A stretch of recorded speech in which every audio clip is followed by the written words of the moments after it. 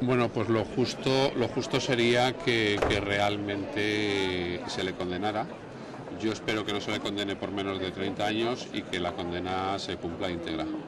Son delitos, estamos hablando de delitos serios y fuertes, a menores, violación y abusos.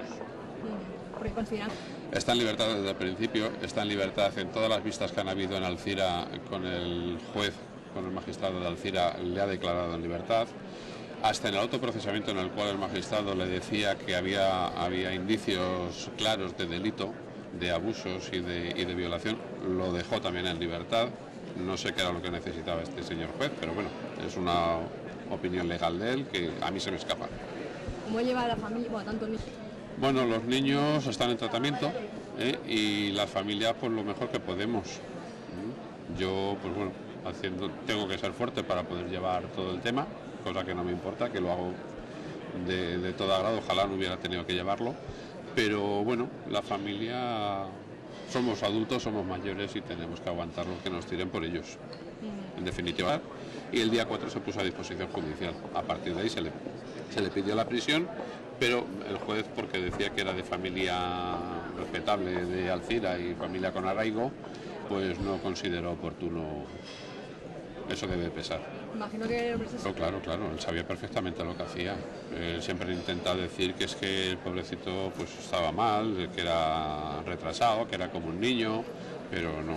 Él sabía perfectamente lo que hacía, el retraso que tiene por el fiscal, eh, por el perdón, por el fiscal, por el, por el, el forense psi- psiquiatra, eh, ha dicho que es una minusvalía ínfima, es muy pequeña, es- tiene una deficiencia muy pequeña. Eh, y entonces, pues bueno, mm, no, no era tal. Lo que siempre se ha valido de eso. ustedes no habían sospechado. Sí, sí, bueno, pues los niños contaban de que este individuo pues les engañaba con el tema de los vídeos, de los videojuegos, de la minicadena, de con mil historias. eh, que no, que está mi hermana en casa, que vamos a subir solamente por el bocadillo, sube conmigo. Mm, Siempre se quedaba al final de cuando ya no había nadie para acercarse a los niños. En fin, siempre buscaba las artimañas. Lo subía a un, a un séptimo piso cuando él vivía en un sexto para ver si estaba la hermana. Si estaba la hermana, se lo subía a la azotea y después pues les obligaba a hacer felaciones, a hacer, a hacer todo. ¿eh?